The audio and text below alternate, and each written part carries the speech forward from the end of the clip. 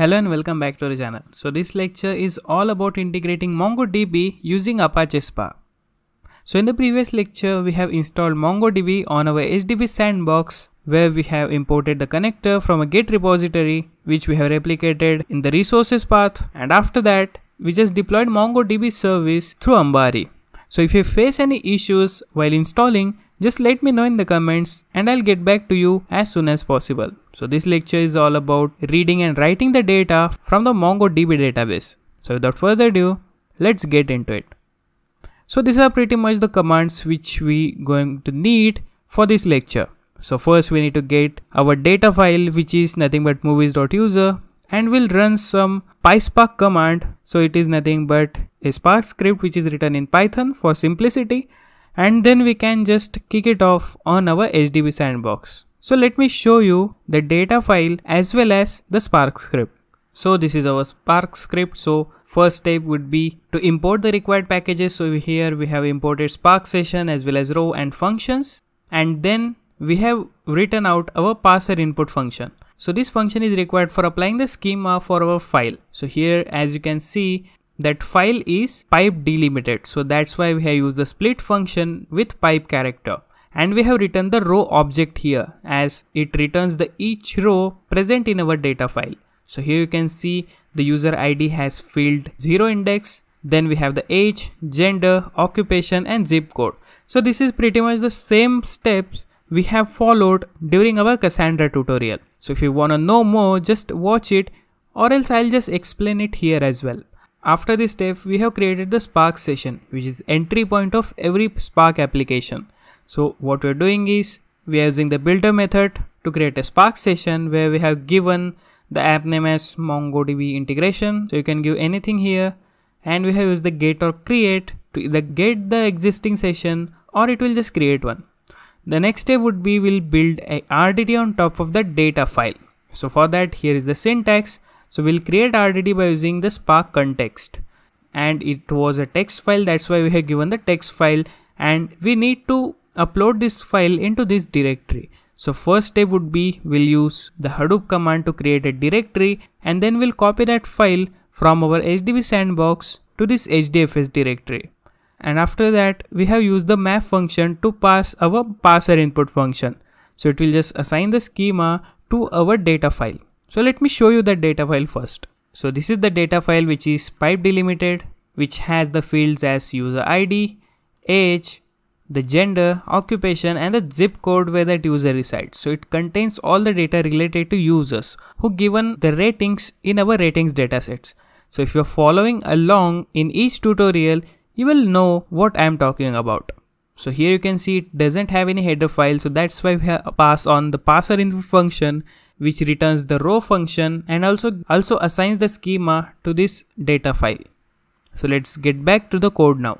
So after creating the RDD and passing the parser function, we have converted that RDD into a data frame. So it is nothing but a immutable Java collection which has some specific schema and data frames are stored in a tabular format just like a relational databases. So after that, we will write this data frame into MongoDB. Here the process is pretty much similar to Cassandra. So if you are following along, it will be easier for you to understand. So here we have used the write function to write this data frame into the MongoDB server. So here we have provided the connection string as well and we have given the movie lens as a database and users as a collection. So as you already know that MongoDB doesn't have any concept such as table. It has the collections which is similar to tables and contains different sorts of document which can have different schema. And we have used the append method here. So you can also use the override to fully load the data or else this append will only load the updated data as well as the new data. And we have just call out the action save to really kick off our write function. And then we have gone one step further by just reading that data back from the MongoDB. So what we are doing is we are using the read function here to read the data back from the MongoDB. So it is pretty much self-explanatory. So if you have any issues, just let me know in the comments.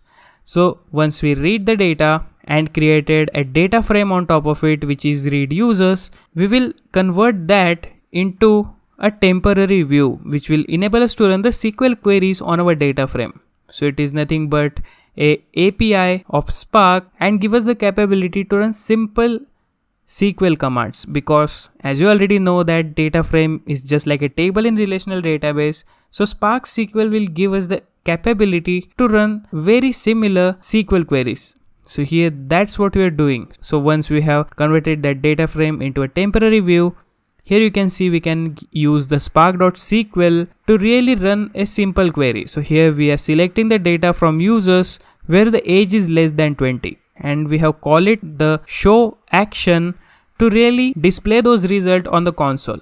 And the last step would be once everything is done, just stop the Spark session. So it is also important once you are done with all the operations. So are you ready to execute it? Okay then. So this next step would be we need to get the data file which we will upload it into this specific directory and then we can kick off our PySpark script. So the next step would be just boot up your HDP sandbox. So I have already kept it in running position and make sure that all the services are running fine. So here my services are running fine. So if everything looks good, just kick off the command line by using the putty terminal and log in as a Maria underscore dev. Let me show you the host one more time. So the host name is Maria underscore dev at the rate localhost and the port is 2222. So just open the session so you know the password. So just give Maria underscore dev. So if you hit ls, nothing is there. So first we need to get our data file and load it in HDFS. So for that purpose, we'll again use the wget command. So gives wget https colon slash slash raw dot github user content dot com slash ashe patil 11 slash hadoop slash main which is branch slash the file name which is movies.user so this is our data file. Hit enter. And that's it. The file has been downloaded. So we can just make one directory in our hdfs to copy this file. So for that purpose again give hadoop fs make directory slash user slash maria underscore dev which is the username so just give the same path which we have provided in our Spark script. Otherwise, it will just throw an error and doesn't even execute because it will fail to find our data file. So just give like, we'll create one directory here, MongoDB. That's it. Hit enter. Okay, so once everything is created, just use copy from local command to copy our file. So give like Hadoop fs copy from local. So just look out for the capitalization. Then give the file name. So our file name is movies.user and give the directory. So again the directory is user slash maria underscore dev slash mongodb slash movies.user that's it. So the file has been uploaded. So to verify it just log into the ambari. So here you can see just go to the localhost 8080 from your favorite browser and give the username as maria underscore dev and again password is maria underscore dev. Hit sign in. And as you can see all my services are running fine without any issues. So we can see zero alerts here. So you can just go to the files view here. Then go to our path. So our path was user. Then in user there was my underscore dev. And here you can see the directory is created which is mongodb and this is our data file which is pretty much similar. So if you just open it it's a pipe delimited and having the five fields which we discussed during our PySpark script. So it has user id age gender occupation and the zip code. So you can just cancel it. So just get our PySpark file from the command line. So again come back to the command line. Just give like wget to get our PySpark script. Again give like https colon slash slash raw dot github user content dot com slash ashaypatil 11 slash hadoop slash main slash mongospark dot py. So this is our file. Hit enter. That's it. File has been downloaded. So just let's take a look in the file. mongospark.py and this is pretty much our file. So if we just come back. Okay. So we are ready to submit this Spark script on our HDP sandbox. But first we need to select the Spark version 2. if you watched the previous Cassandra lecture, we have discussed that this HDP sandbox preloaded with both version of Spark. But to run this Mongo Spark and have the full compatibility, it's better to use the second version of Spark. But if you just hit Spark submit, it will take version 1 as a default. So to make it version 2, just give like export and in capital give like spark underscore major underscore version equals 2 that's it. Hit enter. And now we can just use the spark submit to submit our PySpark script. So to do that just give like spark dash submit. So it is used for submitting our spark job through command line. Then give the packages. So packages are very important. So it will know that where to find the packages to integrate mongodb with spark so for that we need to provide the path for the package name so give like org dot mongodb dot spark colon mongo dash spark dash connector underscore 2.11 colon 2.3.2 and after give the name of a PySpark script which is mongo spark.py so just look out for any errors and if everything looks good just kick off our job so hit enter and let it just do its work. So here we are creating the spark session. Then we are loading our data file. So it is just pretty much doing all the groundwork now. And we are also reading it from the mongodb again. So it will take some time. So just grab a coffee and come back in some time. So here i guess the write procedure is about to start so it will just write the data in the collection. And as you can see here is the result of our read operation. So as we have passed the read operation on our data frame so what it is doing is it is just creating a data frame from reading back from the mongodb collection and here you can see the results.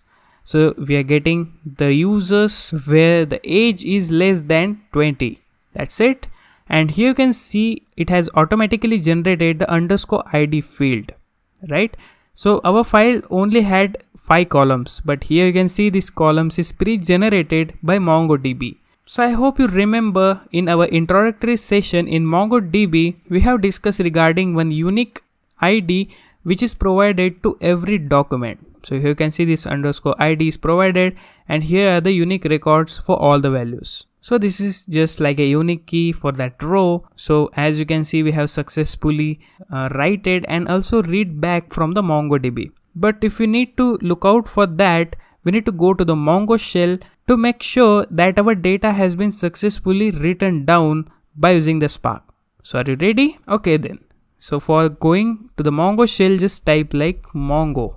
Hit enter and that's it. We are in the mongo shell now. So to get the list of all the databases all we need to do is we need to give show and dbs which is known as dbs and as you can see movie lens db which is database is created by using our PySpark script. So if we just give like use movie lens okay so we are switched to the movie lens now.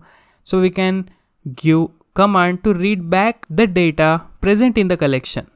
But first let's see if our collection is present or not. So give like show collections and here you can see the user collection is here which is synonymous to the table in relational databases. So every record is similar to the document in collection. So let's say if you need to find the user ID 100, we can give a simple command. So we can use like db dot users dot and the command is find and give the brackets. Inside that give the curly braces and then pass on the user id user underscore id colon 100 so as you can see we can retrieve the data from the mongodb by using the specific key. So if we just hit enter as you can see we're getting the results for user id 100 so that's it. I hope you're clear how to read and write back from the MongoDB and how we can integrate it with the Apache Spark. So in the next lecture, we will be messing around with MongoDB shell and learn more about this different sort of syntax which just look like a JavaScript.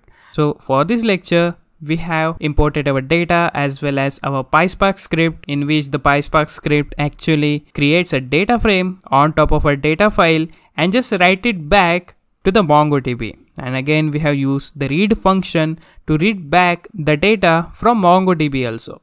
So if everything looks good, you can give exit here and that's it. You're out of the MongoDB shell.